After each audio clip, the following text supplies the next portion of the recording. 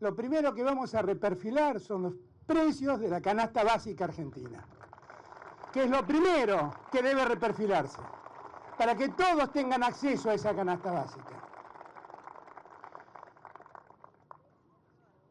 Lo que más me alegró de todo esto es ver la disposición de todos por involucrarse. Todos. Las organizaciones sociales, las universidades, los curas. Por ahí lo veo al padre Pepe, que tanto hace por, con sus otros curas amigos, con el obispo auxiliar de Buenos Aires, lo mucho que hacen. Lo veo al presidente de Cáritas y le doy las gracias, porque Cáritas eternamente ha dedicado su esfuerzo a eso. El presidente de Singenta y otros empresarios que también están decididos a dar esta batalla. Es una batalla que debemos dar como sociedad, no es una batalla de un presidente, de un grupo político, es una batalla que debemos dar como sociedad. Alguna vez que nos conmueva la vergüenza de ver la miseria al lado nuestro.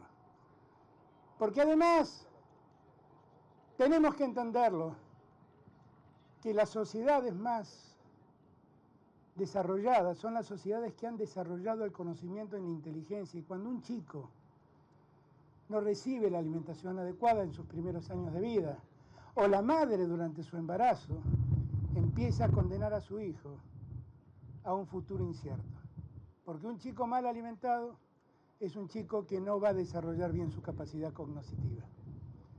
Y ese chico, en la sociedad del conocimiento, es un chico sin futuro. Es un chico que no sabemos de dónde se va a agarrar para prosperar. Y nosotros no podemos mirar pasivos ese desafío. Lo tenemos que asumir.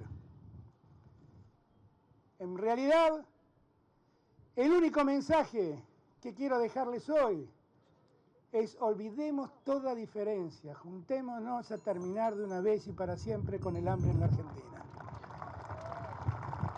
No me importa de dónde vienen, no me importa lo que piensan, démonos cuenta que no podemos vivir en paz con semejante flagelo.